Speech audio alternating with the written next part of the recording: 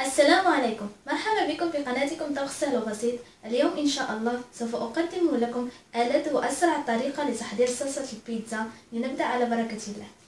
لدينا خمسة حبات من الطماطم والقليل من الزعتر وملح والفلفل الأسود والفلفل الأحمر وثلاثة فصوص من الثوم وملعقتين كبيرتين معجون الطماطم أو مركز الطماطم وثلاثة ملاعق كبيرة من زيت الزيتون ونصف كأس ماء.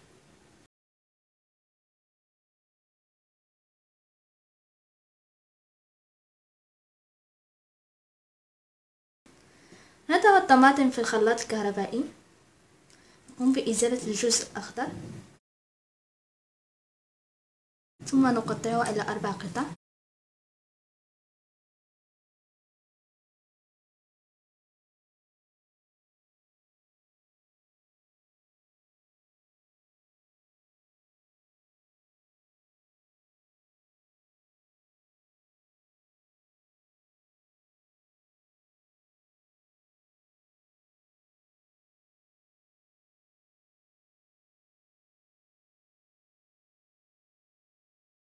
والثوم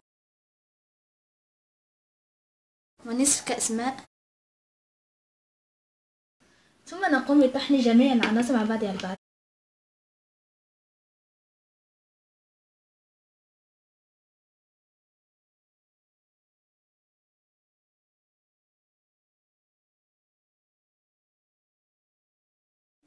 ثم نقوم بتصفية الخليط.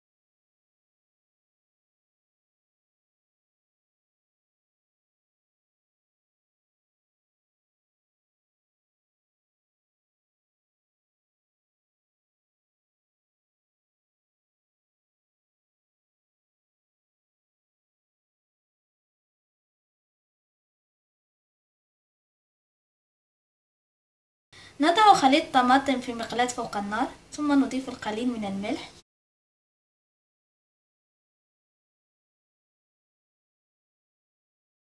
والقليل من الفلفل الأسود. والقليل من الفلفل الأحمر. والزعتر. ومعجون الطماطم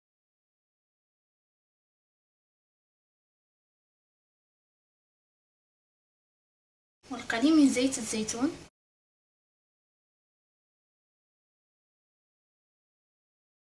ثم نخلط جميع العناصر مع بعضها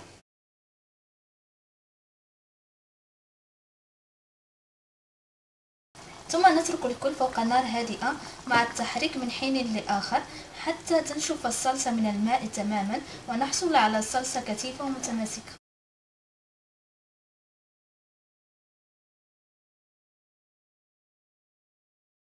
هذا هو شكل الصلصة كما تلاحظون. نحصل على صلصة كثيفة ومتماسكة. أتمنى أن يعجبكم الفيديو. للمزيد من الفيديوهات لا تنسوا الاشتراك على قناتكم طبخ سهل بسيط ولا تنسوا الضغط على زر لايك من أجل تدعموني وزيارة صفحتنا على فيسبوك ودمتم في رعاية الله.